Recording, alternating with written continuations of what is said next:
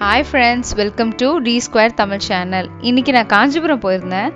காஞ்சிபுரம் வெள்ளகேட் பக்கத்தில் ஒரு குபேரர் கோயில் இருக்குது அந்த கோயிலை பற்றி தான் சொல்ல போகிறேன் அந்த கோயிலோட பேர் ஓம் ஸ்ரீ ராஜகுபேரர் சித்தர் பீடம். அந்த கோயிலில் இருக்க குபேரர் ரொம்ப அழகாக இருந்தார். அந்த குபேரருக்கு பின்னாடி சிவன் சிலை வந்து ரொம்ப பெருசாக ரொம்ப அழகாக பிரம்மாண்டமாக இருக்கார். அது ரொம்ப வித்தியாசமாக இருந்தது.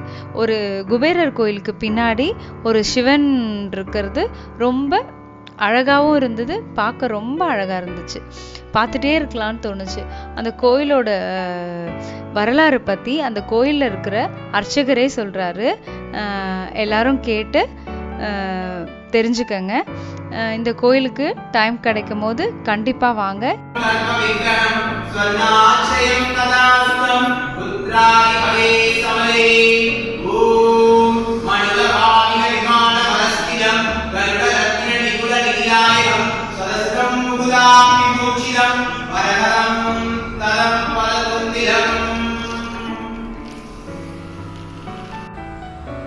ஓம் ஸ்ரீ ராஜகுபேராய நமக. ஓம் ஸ்ரீ ராஜகுபேர சித்தர் பீடம் குபேரப்பட்டினம் வெள்ளகேட் காஞ்சிபுரம். பதினோரடி சிவன் வைத்தியநாத சுவாமி உருவமா கர்ப்பகரக்குள்ள உலகத்தில் எங்கேயுமே கிடையாது. ஆறடி ராஜகுபேரருக்கு தனி சன்னதி இங்கே தான் இருக்கு. இவங்க இரண்டு பேரும் ஒரே நேரத்தில் பார்க்கும்போது பூர்வ புண்ணிய நிலை திடீர் அதிர்ஷ்டம் செல்வ செழிப்பு உடல் ஆரோக்கியம் இவை அனைத்தும் கிடைக்கும். சித்தநிலை பாக்கியம் இருக்கவங்களுக்கு மட்டும்தான் அழைப்பு கிடைக்கும். பதினோரு அடி சிவன் வைத்தியநாத சுவாமி இரட்டை சூரியனாக காட்சி தரார். ஒன்று வந்து பார்த்தீங்கன்னா மிருத்துஞ்சய நிலையில் உடல் ஆரோக்கியம் இன்னொன்று பூர்வ புண்ணியநிலை. இந்த கோவிலுக்கு வரணும் அப்படின்னா அப்பா அம்மா செய்த புண்ணியம் இருந்தால் மட்டுமே அழைப்பு வரும். ராஜகுபேரன் தனம் தானியம் இவை இரண்டும் அதிபதி. சாப்பாடு பணம். இங்கே வேழக்கிழமை வேழக்கிழமை அன்னதானங்கள் சிறப்பாக இருக்கும். தங்க கவசத்தில் குபேரர் இருப்பார். ஒரு ஆயிரத்துக்கு மேற்பட்ட பக்தர்கள் இங்கே சாப்பிடுவாங்க. அது மட்டும் இல்லாமல் ஒன்பது படிக்கெட் நவநிதி படிக்கெட் ஒவ்வொரு படிக்கட்டும் எந்திரங்கள் வேறால் பிரதிஷ்டை பண்ணி வச்சிருக்கும் கிரகநிலை அமைப்பில் ஒவ்வொரு படிக்கட்டும் தொட்டு கும்பிட்டு உள்ளே வரணும். உள்ளே வந்ததும் சங்கநிதி பத்மநிதி இவங்க இரண்டு பேரும் பார்த்ததுக்கப்புறம் ஈசனை பார்க்கணும். ஈசன் பார்த்ததும் ராஜகுபேரரை பார்க்கணும். நீங்கள் என்ன காரியம் வேண்டி ஒன்பது சுற்று சுத்துறீங்களோ சிவசகா அதாவது சிவசகானா சிவனா ஈஸ்வரன் சகானா அவருடைய தொழில் குபேரர் அப்படின்னு பார்க்கும்போது எல்லார் வீட்டில் இருக்கிறதுக்கு குபேரர் பார்த்தீங்கன்னா லாஃபிங் புத்தா ஆனால் குபேரர் அவர் கிடையாது. அவர் வந்து பொம்மை தான் ஆக்சுவலாக அவர் சைனீஸ் வந்து அதை உருவமாக்கி தெ- எல்லாருக்கிட்டையும் வழிபட ஆரம்பிச்சிட்டாங்க. குபேரர் அவர் கிடையாது. இவர் தான் அவய முத்திரையுடன் அக்ஷய பாதத்தில் காட்சி தரார். இவர் தான் வந்து ராஜ குபேரர். இவர்கிட்ட இல்லாத செல்வங்கள் எதுவுமே கிடையாது. எதுவுமே வேணான்னு சொல்லி அவங்க அண்ணன் ராவணன் கிட்ட கொடுத்துட்டு போறாரு. அப்படி போகும்போது குகையில் குகையில உட்காராரு அந்த குகை பேர் தஞ்ச முனீஸ்வரர் ஒரு லிங்கம் இருக்கு. அந்த லிங்கம் பார்க்குறாரு. அங்கே இருந்த உட்காந்தவர் தான் எட்நூத்தி இருபது வருஷம் மகாதவம் புரிகிறார். யாரை பார்க்கணும்னு சொல்லி ஈசனை பார்க்கணும். அப்படி இருக்கும்போது சிவனும் பார்வதியும் நடனம் ஆடுறாங்க. பிரகாசமாக ஒரு ஒளி தோன்றுது. கண் திறந்து பார்த்தால் பார்வதி தேவி. என்ன ஒரு அழகு என்ன ஒரு பிரம்மாண்ட குபேரர் சொல்ல தவறாக புரிந்து கொண்ட பார்வதி குபேரர் கண்ணை பறிச்சிடறாங்க ஈசன் சொல்கிறாரு தவறு பண்ணிட்டியே.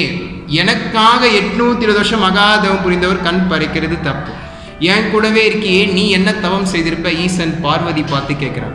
கண்ணை கொடுத்துட்டு உனக்கு என்ன வரம் வேணும் குபேரா? அப்படின்னு கேட்கும்போது என்கிட்ட இருந்த எல்லா செல்வங்களும் என் அண்ணன்கிட்ட கொடுத்துட்டேன். எனக்குன்னு ஒரு செல்வம் அப்படின்னா உங்கள் பாதத்தில் நான் இருக்கணும். அதனால தான் பதினோரு அடி ஈசன் அமைப்பில் ராஜகுபேரர் அமர்ந்த இடம். எங்கேயும் பார்க்க முடியாத திருக்கோவில் இது. இதை மட்டும் கொடுத்தா உனக்கு போதாது. நான் உனக்கு ஒரு வரம் தரேன்னு சொல்லி ஈசன் ஒரு வரம் தரார். ஈரேழு பதினாறு செல்வத்துக்கும் தனத்துக்கும் தானியத்துக்கும் நீயே அதிபதி? ஏன் இதை உனக்கு கொடுக்குறேன்னா எதை வேணான்னு சொல்லி உங்கள் அண்ணங்கிட்ட நீ கொடுத்துட்டு வந்தியோ அதே உனக்கு தரேன்.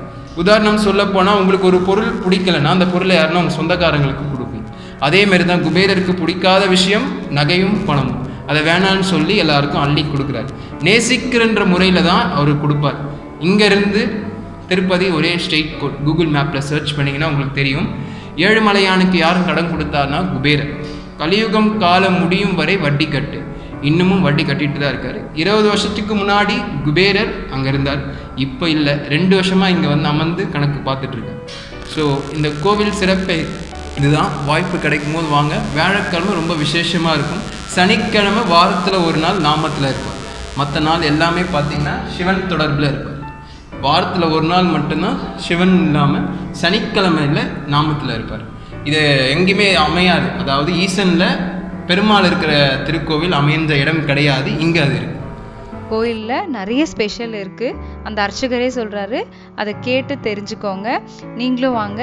நான் வந்து ரொம்ப விசேஷமான சனிக்கிழமையில் போனது ரொம்ப விசேஷம்.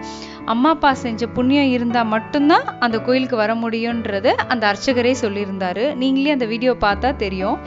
அவ்வளோ ஸ்பெஷலாக இருக்குது வாரத்தில் ஆறு நாளும் வந்து அவர் பட்ட நாமம் தான் வச்சுருப்பாங்களாம் குபேரர் சிலைக்கு.